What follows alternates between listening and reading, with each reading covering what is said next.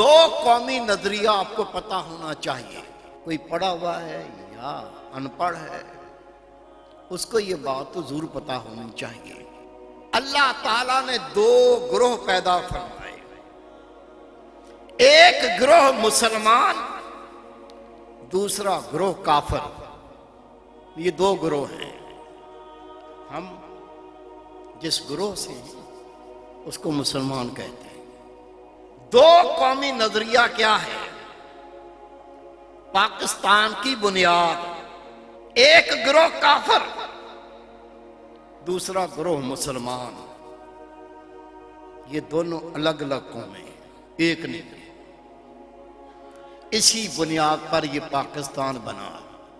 काफर अलग कौम है, मुसलमान अलग कौम है, और उसी बुनियाद को सामने रखते हुए हज़रत मोहम्मद अली जना रहमत ने तहरीक चलाई।